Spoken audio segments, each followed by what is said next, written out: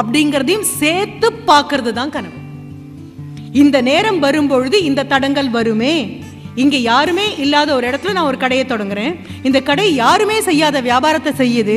இப்போ இந்த கடை யாருமே செய்யாத வியாபாரத்தை செய்யும் பொழுது இன்னும் நான்கு பேர் இந்த தெருவிலேயே போட்டியாளர்களாக வரும்பொழுது இதை தாண்டி நான் போடணும். If I have to run an extra mile அப்படின்னா நான் என்ன ஓடணும் என்ன பண்ணணும் அப்படிங்கிறதையும் சேர்த்து வரக்கூடியது தான் அந்த தீர்க்க தரிசனம் மிக அழகான ஒரு அனுபவம் எனக்கு கிடைச்சிது. அந்த அழகான அனுபவத்தை நான் இதோடய கொண்டு வரேன் நான். நாம் என்ன நினைக்கிறோம்? நம்மளுடைய நேர்மை இதில் எதுலேயுமே காம்ப்ரமைஸ் இல்லை. அதையும் நான் மறுபடியும் சொல்கிறேன் இதில் எந்த காம்ப்ரமைஸும் கிடையாது. அஞ்சு வருஷத்துக்கு முன்னால் தோன்றின அதே நேர்மை அஞ்சு வருஷத்துக்கு முன்னால் போட்ட அதே உழைப்பு இதை அதிகப்படுத்தலாமே தவிர இதில் குறைக்கிறதுக்கு எந்த விதமான மார்க்கமும் கிடையாது. நேர்மை என்னமோ நம்மளுடைய ஏகபோக உரிமைன்னு வேற நம்ம தப்பா நினைக்கிறோம். கண்டிப்பா இல்லை. கையில காசு இருந்து ஒரு தொழில் தொடங்குறவங்களுக்கு மட்டுமே அல்ல நேர்மை.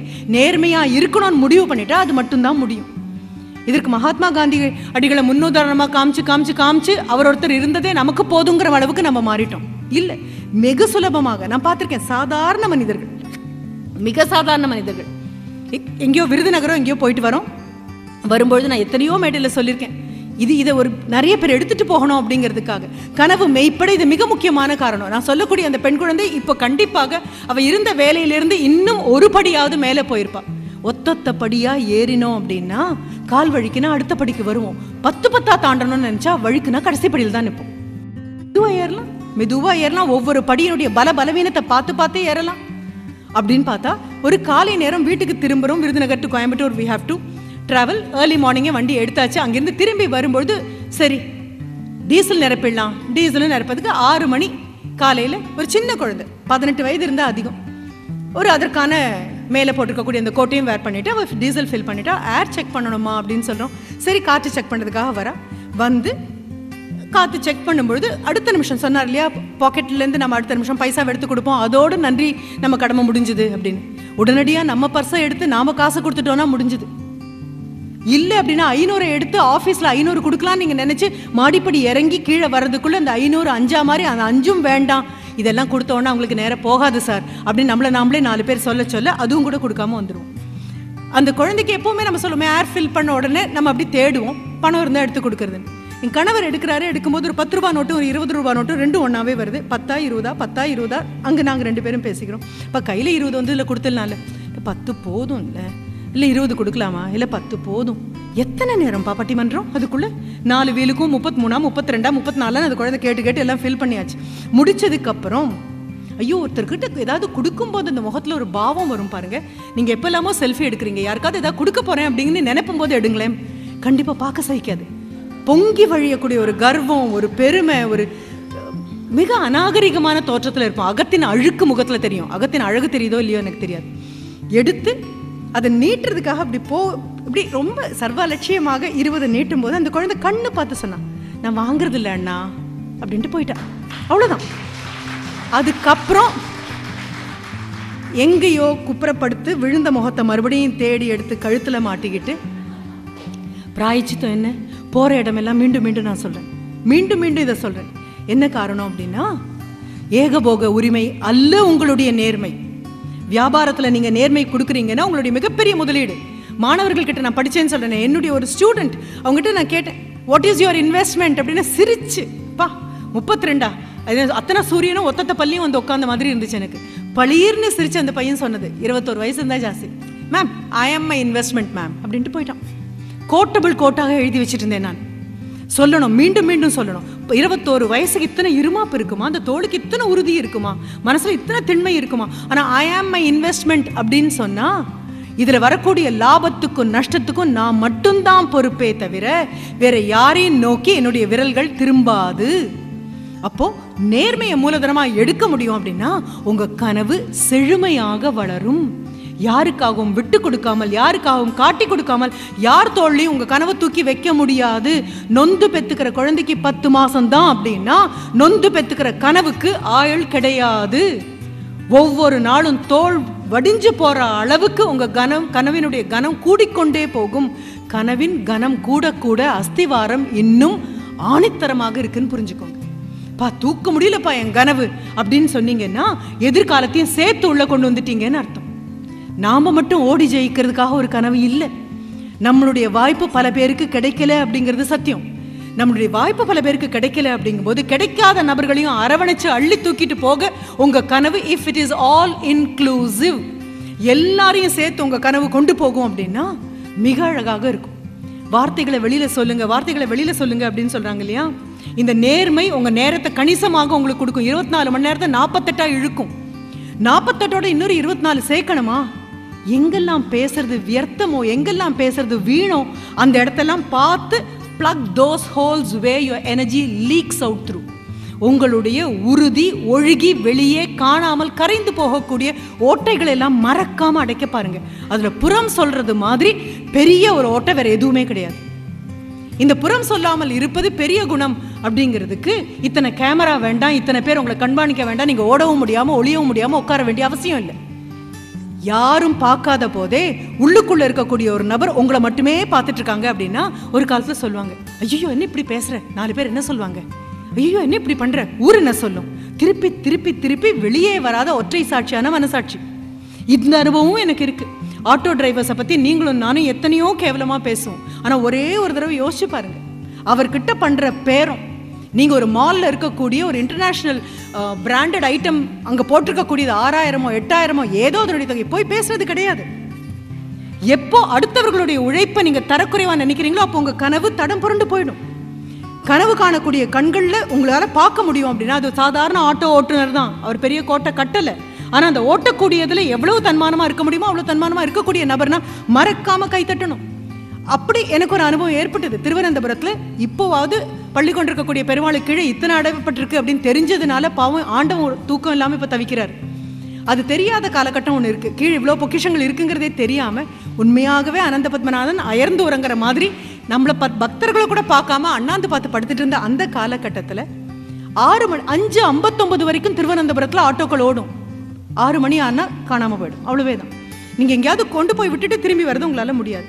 அங்கே இருக்கக்கூடிய பல்கலைக்கழகத்துக்கு போயிருந்த போது நானும் என்னுடைய சக ஆசிரியையும் ரெண்டு பேரும் வெளியில வந்து நின்று ஒவ்வொரு ஆட்டோவா நிறுத்துறோம். கோவிலுக்கு போகணும் கோவிலுக்கு போகணும் தெரிந்த மலையாளத்துல பேசுறோம். ஒரு ஆட்டோவும் நிக்கல இல்ல இல்ல முடியாது முடியாது. நான்காவதாக ஒரு ஆட்டோ டிரைவர் நிறுத்திட்டார். ஏறி உட்காந்த அடுத்த நிமிடம் நான் கொஞ்சம் முன்னால எவ்வளவு தூரம் முன்னால போனா அவருக்குடைய காது கிட்ட போக முடியுமோ அவ்வளவு தூரம் முன்னால நகர்ந்து நான் அவர்கிட்ட கேட்குறேன் ஏன் இந்த மூணு ஆட்டோவும் நிறுத்தாமையே போயிட்டாங்க? அவர் திரும்பாமல் எவ்வளவு தூரம் எனக்கு குரல் காதில் விழுமோ அந்த அளவுக்கு பின்னால் வந்து சொல்கிறார் நான் கொண்டு போய் விடுறேன். வந்துட்டேன் திரும்பி. அப்போ எனக்கு சரி தோணலை. தெரியணுமே நமக்கு. மறுபடியும் முன்னால் போய் இல்லை அவங்க மூணு பேரும் ஏன் வந்து வராதுன்னு சொன்னாங்க? அவர் அடுத்தது என்கிட்ட சொல்றாரு நான் கொண்டு போய் விடுறேன் மேடம். மூன்றாவதாக மறுபடியும் விடாப்படியாக அதுக்குள்ள கோவில் வந்து இறங்கிட்டோன்னா இந்த ரகசியம் தெரியாமல் போயிடுமே. அதற்காக மறுபடியும் முன்னால் போய் நான் இல்லை ஆனால் அந்த மூணு பேர். அவர் எனக்கு ஒரு பதில் சொன்னார்ப்பா. இந்த நிமிஷம் வரைக்கும் தங்கம் கட்டி தூக்கிட்டு இருக்கேன் நான். அவர் சொன்ன பதில் எனக்காக மட்டும்தானே நான் பேச முடியும். நான் சொல்றது எத்தனை பேருக்கு புரியுதுன்னு கூட எனக்கு தெரியல. கனவு மெய்ப்படணும் அப்படின்னு சொன்னா அடிப்படையான அந்த நாகரிகம் கலந்த நேர்மை மனதுக்குள்ள அவர் சொன்னதுதான். ரெண்டு விஷயம் எனக்கு. ஒண்ணு என்னைக்கோ வாடகைக்கு ஏறி காசை கொடுத்துட்டு இறங்கக்கூடிய உங்க முன்னால என் இனத்தை காட்டிக் கொடுக்க மாட்டேன். எவ்வளோ பெரிய விஷயம்? எவ்வளோ பெரிய விஷயம்? அடுத்தது என்ன? நீங்கள் எப்படி கேள்வி கேட்டாலும் என்னுடைய அடிப்படை நேர்மையிலேருந்து அரை அங்குலம் கூட நகர்ற உத்தேசம் கிடையாது. என் இனத்தை காட்டி கொடுக்க மாட்டேன் என்னை தரம் தாழ்த்தி கொள்ள மாட்டேன்.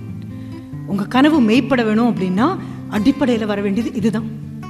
என்னுடைய அதே வேலையை எனக்கு பின்னால் வரக்கூடியவங்க என்னை ஓவர்டேக் பண்ணி முன்னால் போகிறாங்க அப்படின்னு சொன்னால் சுதாரித்து கொள்ள வேண்டிய நேரமே அல்லாமல் குற்றம் சொல்லி மற்றவர்களை கீழே இறக்க முயற்சி பண்ணினோம் அப்படின்னா அடுத்தவர்களை கீழே இறக்கிறவங்க முதல்ல அவங்க தான் கீழே இருப்பாங்க.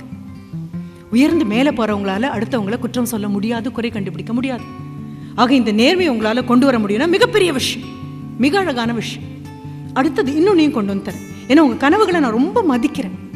அது கனம் தாங்காம அது கீழே உட்காரணும்னா கூட உங்க உழைப்பின் மேன்மையினால உங்க கனவுகள் எல்லாம் ஏதோ தர்மராஜனுடைய தேர் மாதிரி தரையை விட்டு அரைஞ்சு மேலேயே தான் மிதந்துட்டு இருக்கு. அவ்வளவு அழகாக இருக்கு. அவ்வளவு நேர்மையாக இருக்கு. உங்க கனவுகளை நான் மலை மாதிரி நம்புறேன்னு சொல்லக்கூட எனக்கு அச்சமா இருக்கு. ஏன்னா நேத்திக்கு பார்த்த மலை இன்னைக்கு நாலு வீடா மாறிடுதே தவிர மலையை காணும். அதனால உங்க கனவுகளை நான் கனவுகளா மட்டுமே வைக்கிறேன். But you have made it out of அந்த த்ரீ லிட்டில் பிக்ஸ் அப்படின்னு ஒரு கதை கேட்டிருப்பீங்க சின்னதுல. மூணு பன்னிக்குட்டி. அம்மாவை விட்டு மூணு கிளம்பி போகும். போகும்போது அம்மாவுடைய அட்வைஸ் பத்திரமா பார்த்துக்கோங்க உங்களையே அவ்வளவே தான் ஒவ்வொன்றும் போய் தன்னுடைய வீட்டை ஒவ்வொரு விஷயத்தால கட்டும். வைக்கோல் புல்லால் கட்டக்கூடியது ஒன்று மணலால் கட்டக்கூடியது ஒன்று கடைசியாக பொறுமையாக பார்த்து கருங்கல்லால் கட்டக்கூடியது. ஒவ்வொரு வீட்டையும் கீழே தள்ளி அழைக்கக்கூடிய ஒரு நரி. வந்து ஒவ்வொன்றையும் I will huff and I puff and I blow you house in அப்படின்னு சொல்லும். ஊதி எல்லாத்தையும் கீழே தள்ளிடும். கடைசியாக பார்த்தா விட்டு கொடுத்த இந்த ரெண்டு சகோதரர்களையும் தன் கூட இணைச்சிக்கிட்டு அந்த நரியை வென்று வெளியில் வரதாக அந்த மூன்றாவது பண்ணிக்கிட்டு அது வீடெல்லாம் கட்டிடும் கட்டும் குழந்தைங்களுக்கு சொல்லிக் கொடுக்கக்கூடிய இந்த பாடங்களோட சேர்ந்து உங்ககிட்ட நான் மறுபடியும் உங்க கனவுக்கு முட்டு கொடுக்கவே வேண்டிய அவசியம் இல்லை. எதுக்கு முட்டு கொடுக்கணும்? கனவு என்ன ஊன்றுகோல் தேறி நிற்குதா என்ன? ஆனா எத்தனை வேகமா ஓடினாலும் அவர் சொன்னார் இல்லையா முட்டாளும் மயில்கல்லு மட்டும்தான் நின்ற இடத்துலயே நிற்கும் அப்படின்னு. இல்லை எனக்கு முட்டாளை விட கூட மயில்கல் மேல மரியாதை அதிகம். எத்தனை தூரம் நான் வந்திருக்கேன் அப்படிங்கிறதுக்கு எனக்கு முட்டாளை திரும்பி பார்த்தா விவரம் தெரியாது மயில்கல்லை திரும்பி பார்த்தா கண்டிப்பா விவரம் தெரியும் எனக்கு. நான் கடந்து போறது. கண்டிப்பா. அப்போ ஒரு மிக ஆரோக்கியமான உடலும் மனமும் சிந்தனையும் வர்றதுக்கு மறுபடியும் மறுபடியும் ஒரு ஆசிரியராக இருக்கிறதுனாலயோ இல்லை புத்தகங்கள் மேலே எனக்கு தீரா காதலும் தாளா மோகமும் இன்னும் இந்த அறுபதை தொட்டதுக்கு அப்புறமும் பொங்கி பொங்கி வந்துட்டு இருக்கிறதுனாலயோ எனக்கு தெரியாது. சுவாசம் முட்டி சாகணும்னா புத்தகங்கள் இல்லாத உலகத்தில் ஒரு ஒரு மணி நேரம் என்ன போட்டாங்கன்னா அடுத்த நிமிஷம் திருப்பி தான் தூக்கிட்டு போகணும். எத்தனை அழகான உலகத்தில் பிறந்திருக்கோம். எத்தனை பேர் நமக்காக சிந்திச்சு கொண்டு வந்து வைக்கிறாங்க. நான் சுயமுன்னேற்ற புத்தகங்களை பற்றி சொல்லலை அப்பா. சுயமுன்னேற்ற புத்தகங்கள் எழுதுகிற அத்தனை பேரும் இலக்கியங்களுக்குள்ள பூந்து வரவங்க தான். இலக்கியத்துக்குள்ள பூந்து வந்தீங்கன்னா உங்க முன்னேற்றம் மட்டும் இல்லை ஊரே முன்னேறதுக்கான உங்க எல்லா வழியும் நீங்க சொல்லிடுவீங்க. இந்த மிக அழகான ஒரு புத்தகம் மீண்டும் நான் சொல்லக்கூடியது தி புக் ஆஃப் மிர்தாத் அப்படின்னு ஒரு புத்தகம். மைக்கேல் நயமி அப்படிங்கிற ஒரு லெபனீஸ் எழுத்தாளர் அதனுடைய மொழிபெயர்ப்பு வந்திருக்கு. அதனுடைய மொழிபெயர்ப்பு வந்திருக்கு. மொழிபெயர்ப்பு வாங்கி நீங்க சிற் இவர் புவியரசு அவர்கள் அதை மொழிபெயர்த்திருக்காரு. புவியரசு அவர்கள் மொழிபெயர்த்த அந்த மொழிபெயர்ப்பையும் ஒரிஜினலையும் வாங்கிக்கோங்க. ஆங்கிலம் ஒன்றும் அப்படி அச்சப்படுற ஒரு மொழி கிடையாது. ஆங்கிலேயனே வெளியில் விரட்டியாச்சு அப்படின்னா இருபத்தாறு எழுத்துள்ள அந்த மொழி என்ன? பெரிய விஷயமா என்ன? ஆனால் பயிலணும்.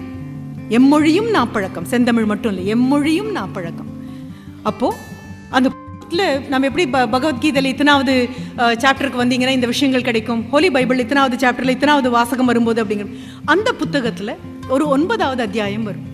மிர்தாத் அப்படிங்கக்கூடிய அந்த உலகத்தின் ஒரு பெரிய தீர்க்கதரிசியாக இருக்கக்கூடிய அந்த நபர் அவர்கிட்ட இருக்கக்கூடிய மற்ற துறவிகள்லாம் கேட்பாங்க. நோய்படாமல் நோயின் வசப்படாமல் எப்போ ஆரோக்கியமா இருக்கிறதுக்கு என்ன வழி அப்படின்னு கேட்பாங்க. நான் மறுபடியும் சொல்றேன். கனவு மெய்ப்படுறதுக்கும் அது மட்டும்தான் வழி.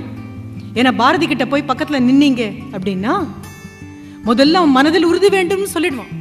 அதுக்கப்புறம் நினைத்தது கைப்பட வேணும் அப்படின்னா நல்லவே நினைக்க வேணும் அப்படின்னு வேற பக்கத்துல பஃபர் பஃபர் கொண்டு வந்து வச்சுட்டே இருப்பான். ஏன்னா எதையாவது நினைச்சு ஏடா கூடமா அவனுக்கு ஏதாவது கிடைச்சிட போதே அப்படின்னு. இல்லை எனக்கு வேண்டும் வரங்களை இசைப்பேன் கேளா கணபதின்னு பாண்டிச்சேரியில மணக்குள விநாயகர் முன்னால சொல்லும் பொழுது கூட நினைத்த பொழுதில் நின்மௌன நிலை வந்திட நீ செயல் வேண்டும். அப்புறம் இருளே இல்லாத மதி வேணும் கனக்கும் செல்வம் நூறு வயது. நான் அப்பெல்லாம் நினைச்சேன் ரெண்டாவது கேட்டது அவனுக்கு கிடைக்கவே இல்லை அப்படின்னு. ஆனா ஒரு ரெண்டு நாள் முன்னால என்னுடைய கணவரோட உட்காந்து இதை பேசும்போது அவர் சொன்னார் ஐயோ நீ என்ன இப்படி தப்பா பேசுறமா? அவனுக்கு கனக்கும் செல்வமும் நூறு வயதும் கிடைச்சாச்சு. ஏன்னா செல்வம் வந்தது அப்படின்னா எல்லாரும் வந்து ஒட்டிக்குவாங்க. பாரதிக்கு கிடைச்சிருக்கக்கூடிய மிகப்பெரிய செல்வம். அவரை எல்லா மேடைகள்லையும் பேசுகிறோம் பாரதியின் தாசன் நான் சொல்கிறோம் பாரதி தான் என்னுடைய ஞான தந்தைன்னு சொல்கிறோம் இதை விட ஒருத்தனுக்கு என்ன செல்வம் வேணும்னு கேட்டார். அதே மாதிரி முப்பத்தொம்பது வருடத்துக்கு அப்புறம் இன்னும் இவ்வளோ தூரம் மிச்சம் வந்தது அப்படின்னு. அப்போ பாரதியுடைய கனவுகள் என்னவாக இருந்திருக்கும்? மீண்டும் மீண்டும் மீண்டும் எதையோ வச்சு அதை செழுமை சேர்த்துட்டே இருக்கான். இதுதான் இந்த மிர்தாத் புத்தகத்தில் வரக்கூடியது. நாலு விஷயம் அஞ்சு விஷயம் அவர் சொல்வார். முதல்ல சொல்லக்கூடியது நீங்கள் என்ன தொழிலில் உள்ளே இறங்கினாலும் you may be an entrepreneur you maybe ஒரு சோஷியல் சர்வெண்ட்டாக உங்களை நீங்கள் ப்ரொஜெக்ட் பண்ணிக்கலாம். இல்லை ஆசிரியராக நீங்கள் யாராக இருந்தாலும் முதல்ல சொல்லக்கூடியது என் தலைக்குள் ஓடக்கூடிய எண்ணங்கள் எல்லாமே நெருப்பில் எழுதிய எழுத்துக்களாக ஆகாயத்தில் மின்னும் அப்படின்னு ஒரு பயம் வந்ததுன்னா உங்களுடைய சிந்தனைக்கு நீங்கள் காவலாளியாக நிற்பீங்க மேம் இதெல்லாம் பண்ணால் வியாபாரம் பண்ண முடியாது மேம் கண்டிப்பாக முடியும். கண்டிப்பாக முடியும். மிக அழகான வியாபாரம் நேர்த்தியான வியாபாரம் நீண்ட நாட்கள் லாபம் தரக்கூடிய வியாபாரம் அந்த லாபத்திலும் ஒரு அளவு பங்கு வாங்குபவனுக்கும் கொடுக்கக்கூடிய அளவுக்கு தர்மம் சார்ந்த சிந்தனை சார்ந்தது முடியும். பேச்சுக்கு இது சுலபம் இல்லை நடக்கிறதுக்கும் இது சுலபம். அவர் சொல்வார் just imagine that every little thought that goes in your head will be flashed upon the sky ஆகாயத்துல மின்னுமா? As if written in fire நெருப்பில் எழுதின மாதிரி மனதுக்குள்ள நான் நினைக்கக்கூடிய கேவலமான அசிங்கமான அஞ்சு பேர் பார்த்தா என்ன நினைப்பாங்களோன்னு அச்சப்படக்கூடிய எண்ணம் கூட என் மனதில் தோன்றி அடு நிமி- அடுத்த நிமிடம் ஆகாயத்தில் நெருப்பால் எழுதி ஊருக்கே கண்ணு தெரியும் அப்படின்னா நினைவில் முதல்ல கொண்டு வந்து நிறுத்துவோம் நம்ம you will be a sentinel to your own thought உங்கள் எண்ணங்களுக்கு நீங்கள் காவலாளி. நெகட்டிவ் தாட்ஸ் உள்ளே வரக்கூடாது. கனவு மெய்ப்படணும் கனவு மெய்ப்படணும் அதுக்கு நேர்மை வேணும் உண்மை வேணும் உழைப்பு வேணும் திறமை வேணும் அடுத்தவர்களை பாராட்டக்கூடிய பண்பு வேணும் பக்கத்தில் நாலு பேரை சேர்த்துக்கொள்ளக்கூடிய பக்குவம் வேணும். விழாம இருக்கக்கூடிய நேர்மை வேணும் நான் சொல்லவே இல்லை. விழுந்தாலும் எழுந்திருக்க கொள்ளக்கூடிய அளவுக்கு முதுகெலும்பு வேணும். விழலைன்னா எப்படி எழுந்திருக்க போறோம்? விழலைனா விழுந்தவன் எப்படி அடையாளம் தெரியும்? விழலைனா அடுத்தவனுக்கு கை நீட்டணுங்கிற உதவி பண்ணணுங்கிற எண்ணம் கூட வராது. அப்போ விழுந்தா எழுந்திருக்கிற தைரியமும் வரும். அப்போ மனதுக்குள்ள சிந்தனைகளை முதல்ல செட் பண்ணிட்டாச்சா? பியூட்டிஃபுல் சரி சிந்தனை என்னவா மாறும்?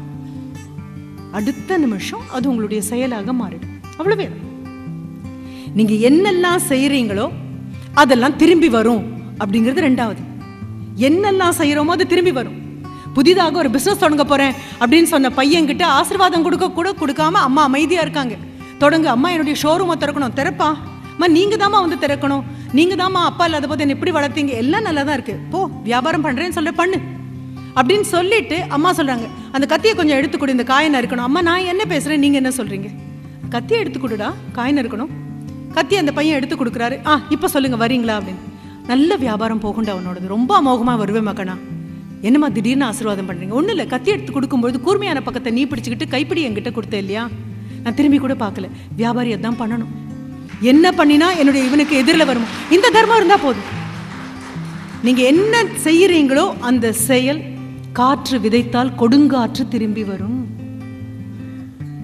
முற்பகல் செய்யின் பிற்பகல் வரும் இல்லைம்மா விளையும். முடியும்.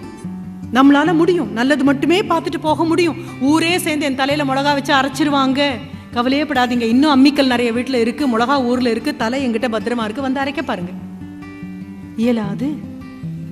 சார் நல்லவதுக்கு காலம் இல்லை அப்படின்னு நல்லவன் சொல்ல மாட்டான். நல்லவனா இல்லாத கெட்டவர்கள் நான் சொல்லல. அல்லவர்கள் மீண்டும் மீண்டும் சொல்லுவோம் நல்லதுக்கே காலம் இல்லை அப்படின்னு ஏதாவது ஒரு நல்லவரை சொல்ல சொல்லுங்க. கண்டிப்பா கிடையாது. சார் உண்மையை சொன்னா உருப்பட மாட்டோம் அப்படின்னு சொல்ல. உண்மையை சொல்றவங்களை சொல்ல மாட்டாங்க. ஏன்னா உங்களுக்கு தெரியும். இது சொல்ற நேரத்துக்கு இன்னும் நாலு உண்மை சொல்லிட்டு நான் ஊருக்கு நல்லது பண்ணிட்டு போலாம். இது ரெண்டு முடிஞ்சுதா?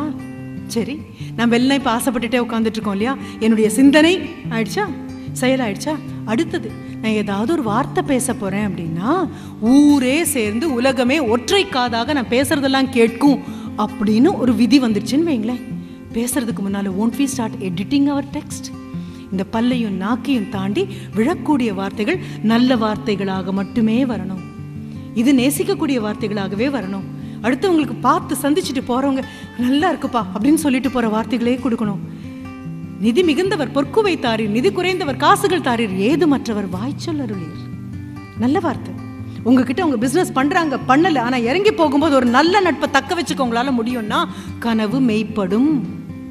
இல்லைன்னா கனவுல ஏதோ பிரச்சனை இருக்கு. அது மெய்ப்படக்கூடாது. அதான் சொன்னேன் ஆசை வேறு கனவு வேறு. அப்படின்னு எடுத்தாச்சு. மூணு முடிஞ்சதா? நாலாவது தான் உங்களுக்கும் எனக்கும் சேர்த்து வச்சு மிக்கல் நாயமே எழுதின மாதிரி.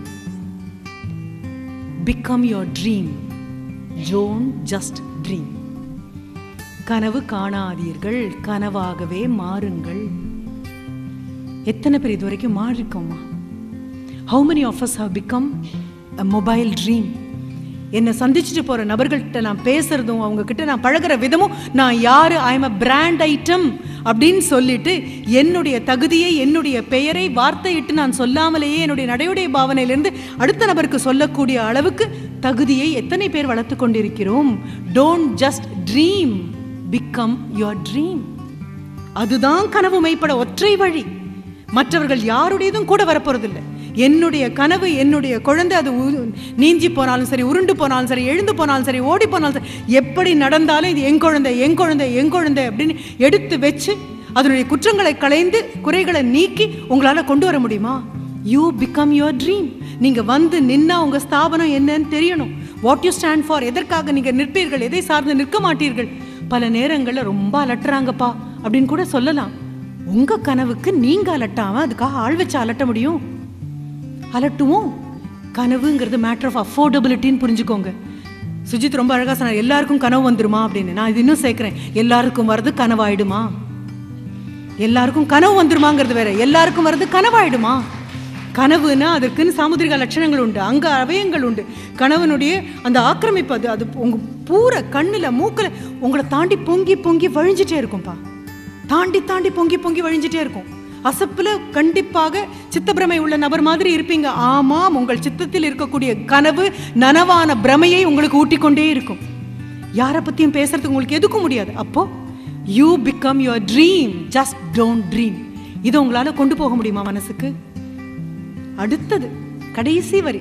அந்த அஞ்சு தான் அவர் கொடுக்குறாரு. அந்த அஞ்சை விவரித்து சொல்லிட்டே போகிறார் எத்தனை அருமையான புக் ஓஷோ கூட அந்த புத்தகத்தை பற்றி சொல்லுவார். எல்லாரும் கண்ணுக்கு தெரியாத கைவசப்பட முடியாத சில எண்ணங்களை புத்தகமாக்கணும் புத்தகமாக்கணும்னு ஆசைப்பட்டாங்களே தவிர முடியல. Michael Naimy alone has succeeded in it அப்படின்னு சொல்வார் அஞ்சாவது வரி ஆண்டவனே இந்த உலகத்தில் வந்து பிறக்க வேண்டும். Even if God wants to be in this planet let him insist that you are here இறைவனே இந்த உலகத்தில் வந்து வாழ வேண்டும் என்று நினைத்தாலும் முதல் கட்டளையாக என்ன இருக்கணும் தெரியுமா? இந்த உலகத்தில் நீங்க இருக்கணும்னு படைச்சவன் கேட்கணும். எவ்வளோ பெரிய எவ்வளோ பெரிய விஷயம்ப்பா கனவு மெய்ப்படுறதுக்கு? என்ன நினைச்சிட்டு இருக்கோம் நம்ம தெய்வத்தின் மேல இருக்கக்கூடிய நம்பிக்கை ஒன் வே டிராஃபிக் நினைச்சிட்டு இருக்கோமா? எனக்கு தெய்வ நம்பிக்கை உண்டு எனக்கு தெய்வ நம்பிக்கை உண்டு. போதாதேப்பா தெய்வத்துக்கும் உங்க மேல நம்பிக்கை இருக்கணும் இல்லையா? வெறும் தெய்வ நம்பிக்கையை வச்சுட்டு என்ன பண்ண முடியும்? எனக்கு ஆண்டவன் இதெல்லாம் செய்வான் என்ற நம்பிக்கை இருக்கு. ஆண்டவனுக்கும் நான் படைச்சு அனுப்புனது இதெல்லாம் செய்யாது இதெல்லாம் செஞ்சு முடிச்சிட்டு திரும்பி வருங்கிற நம்பிக்கை என்னை படைச்சவனுக்கு வேணும். அப்போ கனவு மெய்ப்படும்.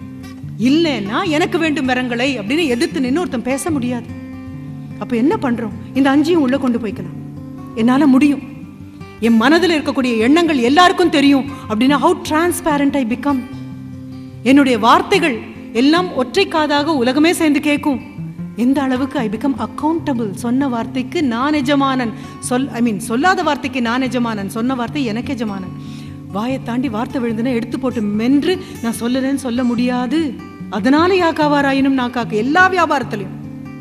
மீண்டும் மீண்டும் தேர்ந்தெடுத்து எத்தனை படிச்சிருக்கலாம் நம்ம ஒரு வார்த்தை புதிதாக தமிழுக்கு சேர்த்துருப்போமா? நம்மளுடைய பாண்டியத்தோட நம்மளுடைய புலமையோடு இல்லையே. வரப்போறோம் தெரிஞ்சு முன்னால போன ஜனங்க நமக்காக அழகழகான அழகழகான அழகழகான உங்க வரி வார்த்தையில சொன்ன செம்மையான செமையான வார்த்தைகளை தொகுத்து தொகுத்து கையில கொடுத்துருக்கும் போது புழங்க மாட்டோம் அப்படின்னு முரண்டு பண்ணா என்ன ஒரு விபரீதம் அது. அப்போ நல்ல வார்த்தைகளை தேர்ந்தெடுத்து பயன்படுத்துவோம். சரி மூன்றாவதாக என்ன செஞ்சாலும் திரும்பி வரும்? எவ்ரி ஆக்ஷன் நான் தொடங்க வேண்டிய அவசியமே கிடையாது. தீயவை தீய பயப்பதால் தீயவை தீயினும் மஞ்சப்படும் கோனாரூரை தேவையில்லை. ஒத்தொத்த வாரியா பிரிச்சிங்கன்னா நீங்களும் நானும் வருவேன் அப்படின்னு சொல்லிட்டு நம்ம அத்தனை பேருக்கும் ஒன்றாக இருக்கக்கூடிய முப்பாட்டன் அவருடைய மொத்த உரிமையை நம்ம ஆயிரத்தி முந்நூற்றி முப்பதையும் நாமளே எடுத்துக்கலாம். எந்த கோர்ட்டுக்கும் போக வேண்டாம். எடுப்பார் இல்லாமல் உட்காந்துட்டு இருக்கு. ஐயோ வேண்டாம்ப்பா தீயவை தீய பயத்தலால். தீயதுலேருந்து தீய வரும்னா தீயினும் மஞ்சப்படும்? ஐயோ போகாதம்மா போகாதம்மா. கையை பிடிச்ச குழந்தைய திருப்பி கூட்டிட்டு வர மாதிரி ஒரு அப்போ மூணாவது என்ன விதைச்சேனோ அதை கொய்வேன்ப்பா. தர்மத்தையும் நேர்மையும் நியாயத்தையும் என்னுடைய வியாபாரத்தோட நான் விதைச்சேன் அப்படின்னா செழித்து வளர்றதுக்கு வேற எதுவுமே வேண்டாம். உரம் போட்டாச்சு. நான்காவதாக டோன்ட் ஸ்டாப் ஜஸ்ட் ட்ரீமிங் என்ன சொல்றோம் ச்சே, அவங்க மாதிரி இருக்கணும்னு ஏன் ஆசையோட நிறுத்துறீங்க? கையை பிடிச்சு யார் நிறுத்துனது அந்த நபரா மாறாம இருக்கிறதுக்கு? ரெண்டு நாள் குழந்தைங்களையும் மனைவியும் விட்டு பிரிஞ்சு போன ஒரு நபர் அந்த பையனை பார்த்த உடனே ஏழு வயசு பையனை பார்த்து ஐயோ யூ பிகம் யங் மேன் என்னடா இவ்வளோ வளர்ந்துட்ட? அஞ்சு வயசு பையனை பார்த்து ஆஹா அப்பா எப்போ ரெண்டு நாள் காண்றதுக்குள்ள இப்படி ரெண்டு நாள் கூட அவர் சொல்றது இல்லை ஒவ்வொருத்தரையும் கொண்டாடுறாரு. மனைவி இருக்க தழுவி சொல்ற I miss you so much கூட வந்த நபர் கேட்குறாரு என்னாச்சு? வெளிநாடு போயிருந்தீங்களா? ரெண்டு மூணு வருஷம் இல்லையா? இல்லை சார் ரெண்டு நாள் மூணு நாள் தான் விட்டுட்டு போனேன். அதுக்கா இப்படி ஆமா அதுக்கு தான் இப்படி ஆஹா ஆஹான்னு பார்த்து பார்த்து உங்களால் கொண்டு வர முடியும் அப்படின்னா ஒத்தத்தை இதழாத மெச்சு மேலே கொண்டு வர முடியும் அப்படின்னா ஐந்தாவது நீங்க வாழற உலகத்துல வந்து வசிக்கிறேன்னு சொல்லி உங்களை படைச்ச தெய்வம் கேட்கணும். அந்த அளவுக்கு உன்னதமாக. சரி இதெல்லாம் எதுக்காக? கனவு மெய்ப்படணும். ஏன்னா உங்களால மட்டும்தான்ப்பா நீங்க கண்ட கனவு மெய்ப்படும். உங்க கையில பேனாவை கொடுத்து இறைவன் எத்தனையோ பேர் தலையெழுத்த மாத்தி எழுதணும்னு நினைக்கிறான். நான் எல்லார்கிட்டையும் மறுபடியும் மறுபடியும் சொல்றேன். ஆசிரியராக உங்க கையில பேனாவை கொடுத்து இறைவன் உங்க கையை பிடிச்சு எழுத போறான். அவ்வளவேதான். எத்தனையோ பேர் தலையெழுத்து. இன்னும் பத்து வருஷம் கழிச்சு நீங்க எத்தனை பேரை மேல கொண்டு வர போறீங்க அப்படிங்கிறது உங்க கணவனுடைய செழுமையை பொறுத்த விஷயம். அப்போ ஒரே ஒரு விண்ணப்பம். ஆண்டவன் உங்க பேனாவை உங்க கையில கொடுத்து பிடிச்சு எழுதுறேங்கும் போது அவசரமா மூடியை போட்டு மூடிடாதீங்கிறது மட்டும்தான் என் விண்ணப்பம். திறந்த நிலையில் அவனுக்காக காத்துட்ருங்க. நீங்கள் அந்த வேலையை செய்யலைன்னா இந்த கனவை உங்கள் தோளில் தூக்கி நீங்கள் நடக்கலைன்னா அந்த கனவை காண இன்னொரு நபரை இயற்கையோ இறைவனோ படைப்பதில் நம்பிக்கை இல்லை. இன் அந் மீண்டும் அந்த கனவு வராது. மதர் தெரசா வந்து செய்ய வேண்டியதை மதர் தெரசாவுக்காக செய்யப்பட்ட அவங்களுடைய கனவு அது. மகாத்மா காந்திக்குன்னு அவருக்குன்னு அலாட் பண்ண கனவு அது. அவங்க அந்த கனவு நிறைவேற்றாம மெய்ப்படுத்தாம போயிருந்தாங்கன்னா அந்த கனவுகள் காணப்படாமலே போயிருக்குமே அல்லாமல் இன்னொரு கனவை கொடுத்து ப்ராக்ஸி வேலை இறைவனுக்கும் இயற்கைக்கும் கிடையாது. வெளியில போய் பார்த்தீங்கன்னா உதிர்ந்த வேப்பம் இருந்து திரும்பின பக்கம்லாம் மிதிபடுற மாதிரி வேப்பநாத்து வந்து உட்காந்துருக்கும் ஒரு மாசம் கழிச்சு பாருங்க நூறு பார்த்த இடத்துல பத்து மட்டும் உட்காந்துருக்கும் அதுவும் திக்காலு கொண்டு அப்படி திரும்பி திரும்பி நகர்ந்துருக்கும். ஒரு வருஷம் கழிச்சு பாருங்க எத்தனை ஒரு அடி உயரத்துக்கு வந்திருக்கு அப்படின்னு. உள்ள வந்த அத்தனையுமே வாழறதுக்காக வரல. ஆனா வாழணும்னு முடிவு பண்ணியாச்சா? எல்லா கதவையும் உடைச்சு பிரவாகமா உங்களால வர முடியும். இஃப் டெஸ்டினி அண்ட் யூ தான் சொல்லுவாங்க தெரியுமா? To will what God wills is luck இறைவனும் நீங்களும் கூட்டணி போட்டுக்கிட்டு ஒரே விஷயத்த கனவா தூக்கி தோல்ல வச்சுக்கிட்டீங்க அப்படின்னா அந்த கனவு மெய்ப்படுறதை தவிர பொய்ப்பட்டு போறதுக்கு எந்த சாத்தியக்கூறும் கிடையாது. இப்போ விரல் பிடிச்சுக்கோங்க. கூட்டணி வச்சுக்கோங்க. என் கையால் இறைவன் எத்தனையோ பேருடைய தலையெழுத்தை மாற்றி எழுத முடிவு செய்து விட்டான். தயார் நிலைக்கு என்னை நானே மாற்றிக்கொள்ள வேண்டும். ஆனா எனக்கு மிகப்பெரிய ஒரு பயம் என்ன தெரியுமா? உங்களால முடியும் உங்களால முடியும் உங்களால முடியும் அப்படின்னு சியூடோ ஆப்டிமிசம்னு ஒன்று இருக்கு. அதாவது போலியாக போலியாக ஒரு நேர்மறையான எண்ணங்களை உங்களை நோக்கி கொண்டு போகிறது பாத்திரம் ஓட்டையாக இருந்ததுன்னா அமிழ்தமே கொண்டு வந்து ஊற்றினாலும் அஞ்சு நிமிஷத்துக்கு அப்புறம் ஊற்றின அடையாளம் கூட இல்லாமல் போயிடும். அதனால தான் சொன்னேன் உங்களுடைய பலவீனங்கள் என்னன்னு பார்த்து பார்த்து பார்த்து பார்த்து அந்த ஓட்டையை அடைச்சு தைரியமாக பிச்சைக்காக அந்த இறைவனுடைய அருளுக்காக உங்களுடைய உழைப்பு எல்லாத்தையும் போட்டீங்க அப்படின்னா ரொம்ப அழகா வரும். அப்போ ஒன்று புரிஞ்சுக்கிறோம். கேட்டலாக் பியூட்டிஃபுல்லான ஒரு கேட்டலாக் போடுங்க. அவர் ரொம்ப அழகாக சொன்னார். மடிச்சு இந்த பக்கத்தில் இன்னைக்கு இருக்கிற நிலை இன்னொரு பக்கத்தில் அஞ்சு வருஷம் கழிச்சு இருக்க போகிற நிலை. ரைட் அது தாண்டி இன்னும் எப்படியும் ஒரு ஏ ஃபோர் சைஸ் பேப்பர் எடுத்துட்டீங்க. ஒரு பக்கம் தான் தீர்த்திருப்பீங்க. அப்படியே பேஜ் டூக்கு திருப்புங்க. அதே மாதிரி மடியுங்க. மடிச்சிட்டு எனக்கு கிடைச்சது இதெல்லாம். நான் பகிர்ந்துகிட்டது இதெல்லாம். அவ்வளவே தான் நான் கேட்குறேன். வேற ஒன்றும் சொல்லுது எனக்கு கிடைச்சது இதெல்லாம். இந்த ஆடம்பரங்கள். இலங்கைக்கு போகக்கூடிய அந்த குழந்தை அதை பற்றி பேசுகிறபோது நான் நிர்மாணம் போகிறேன் அப்படின்னு சொல்லிட்டு மேலே வந்தேன். இரண்டு முறை இலங்கைக்கு போகக்கூடிய பெரிய வாய்ப்பு கிடைச்சிது. நான் ஆண்டவனுக்கு ரொம்ப பெரிய நன்றி சொல்கிறேம்மா என் தலையில் இந்த நாட்டையும் இந்த ஊரையும் இந்த மொழியும் இந்த மக்களையும் திருத்தமாக ஒரு விலாசம் இட்டு அனுப்பி என்னை ஒரு ஊருக்குள்ளே கொண்டு வந்து வச்சது. சொர்க்கமே என்றாலும் நம்மூரை போல வருமா? அவ்வளவே தான். சொர்க்கத்தில் க்ரீன் கார்டு வாங்கி செகண்ட் ரேட் சிட்டிசனாக இருக்கிறத விட எங்கள் ஊரை சொர்க்கமாக மாத்துறதுக்கான முயற்சியில் ஈடுபடக்கூடிய ஃபர்ஸ்ட் ரேட் சிட்டிசனாக நான் கண்டிப்பாக வாழணும். அப்போது இலங்கையில் போய் உட்கார்ந்த போது இரண்டாயிரத்தி ஒன்பதில் அமைதி பிரகடனப்படுத்தப்பட்ட அந்த ஊரில் போய் உட்கார்ந்த பொழுது எந்த ஹோட்டல்லையும் தங்கலை. எங்கெல்லாம் பங்கர் இருக்கோ அந்த வீடுகளை தங்கினோம். ஐயாயிரம் வார் விக்டிம்ஸையும் ஒரு மூவாயிரம் வார் விடோஸையும் எல்லாரையும் சந்திச்சு கையை பிடிச்சு கண்ணை பார்த்து என்ன சொல்ல போறீங்க? எல்லாம் சரியாயிடும்னு சொல்லுவோமா? எப்படி சொல்றது எதுவும் சரியா இல்லையே. ஒரு வீட்டு கதவை திறந்து பார்த்தோன்னா அந்த பக்கம் இடிபாட்டு கடை நடுவில் எருக்கு முளைச்சிருக்கு ஊமத்தை இது பண்ணியிருக்கு திரும்பின பக்கம் எல்லாம் சேதம் மக்கள் இன்னும் வெளியில வரல. அச்சம் அச்சம் அச்சம் அச்சம். எதை பார்த்தாலும் அச்சம் எதை பார்த்தாலும். மணி மணியா நாலாயிரம் குழந்தைங்க உட்காந்துருந்த அந்த அறையிலிருந்து பேசி நான் முடிச்சதுக்கு அப்புறம் வா வந்து கேளுடா அப்படின்னு சொன்னவனு தயங்கி தயங்கி வந்து பக்கத்துல வந்து நின்று கேட்டது. உங்க குழந்தைங்க அது கேட்டிருக்காங்களான்னு எனக்கு தெரியாது. பயப்படாமல் இருக்கிறது எப்படி? எதையாவது பார்த்து பயப்படுறதுங்கிறது வேறம்மா. பயம் ஒண்ணு மட்டும்தான் எனக்குள்ள இருக்கு. என் சுவாசம் பூரா பயம்தான். அச்சம் தான் அப்படின்னு குழந்தை பயப்படாம இருக்கிறது எப்படி? நீங்க இன்னைக்கு இறங்கி போயிருவீங்க. நாளைக்கு என் பொழுது எனக்கு தானே விடியும். அடுத்தது அந்த குழந்தை சொன்னா மூன்று மாதத்தில் என்னுடைய பள்ளிக்கூடத்தில் ஆறு பெண் குழந்தைங்க பதினஞ்சு வயசு தற்கொலை பண்ணிட்டாங்க. எனக்கு கண்ணை மூடினா ஆறு நாள் முன்னால் தூக்கில் தொங்கின என்னுடைய சக மாணவி தான் ஞாபகம் வரா. அப்பா மாட்டையும் என்னால் சொல்ல முடியல. ஆசிரியர்கள் நாற்பது பேரை பார்க்குற இடத்துல ஒன்று எப்படி பார்க்குறதுன்னு சொன்னாங்க. பக்கத்தில் வந்து நின்று ஒரு பதினஞ்சு வயசு பெண் குழந்தை குலுங்கி குலுங்கி குலுங்கி அத்தனை பேர் முன்னாலேயும் அழுத போது கைத்தட்டல் இல்லை சிழ்க்கை ஒலி இல்லை அந்த குழந்தையோட துக்கத்தை வாங்கிட்டு ஆசிரியர்களும் அதனுடைய சீனியர் சிட்டிசன்ஸ் எல்லாரும் சேர்ந்து இந்த வேதனைக்குள்ள போன அத்தனை பேரும் சேர்ந்து குலுங்கி குலுங்கி அழுந்துட்டு இருந்தாங்க. எத்தனை கொடுமை தெரியுமா? ஒரு சமுதாயம் குலுங்கி குலுங்கி அழும்போது அங்க நின்று பார்க்கக்கூடியது? இந்த குழந்தைகிட்ட அதுதான் கேட்டேன். வாட் நெக்ஸ்ட் நடந்து முடிந்ததுக்கு என்னால் எதுவும் பண்ண முடியாதம்மா. இனி என்ன பண்ணலாம்னு யோசிக்கலாமா? What next what next what next அவ்வளவே தான் இனி என்ன? புதிய வெளிச்சம். நீங்க மாற்றம் சொல்றீங்களே அதே மாதிரி புதிய வெளிச்சம். கேட்டாங்க வெளிச்சத்துல புதுசு என்ன பழசு என்னப்பா? ஆமா வெளிச்சத்திலேயே இருந்துட்டு போன நபர்களுக்கு திடீர்னு இருட்டு வந்துடுச்சு. அடுத்த தலைமுறை வந்தாச்சு. அதுக்கு வெளிச்சம்னா என்னன்னு தெரியாது. மின்மினி பூச்சி பறக்கிறத கூட அது பார்த்தது கிடையாது. விளக்கொலியை கூட அது பார்த்தது கிடையாது. அப்படிப்பட்ட குழந்தையோட கையை பிடிச்சிட்டு போறீங்க. திடீர்னு போகும்போது இருட்டுக்கு நடுவில் ஒற்றை புள்ளியா ஒரு வெளிச்சம் தெரியுது. வெளிச்சம் பார்த்த உங்களுக்கு மட்டும்தான் அந்த அது வெளிச்சம்னே அடையாளம் தெரியும். இந்த குழந்தைக்கு வெளிச்சம்னா என்னன்னே தெரியாது. ஏன்னா என்னை பார்த்து ப- பார்வை இல்லாத ஒரு சின்ன பையன் கேட்டான். ஆஹா இன்னைக்கு எவ்வளோ அழகாக இருக்குது இந்த நாள். சூரியனையே காணோம். அந்த குட்டி பையன் கிட்ட கேட்டான் அக்கா சூரியன்னா என்னக்கா? அப்படின்னு இப்படி அவன் குரல் வர திக்கில் நான் குமிஞ்சு பார்க்குறேன் சூரியனை என்னக்கான்னு இது வரைக்கும் யார்ட்டையும் கேட்டதில்லை. அடுத்தது நான் என்ன சொல்ல ஆ வெளிச்சமாக இருக்கும். அடுத்த நிமிஷம் வெளிச்சம்னா என்னக்கா? இன்னும் பதில் வராதது. இந்த குழந்தைங்களை கூட்டிட்டு போகும்போது அதுதான் நினைச்சோம் என்ன?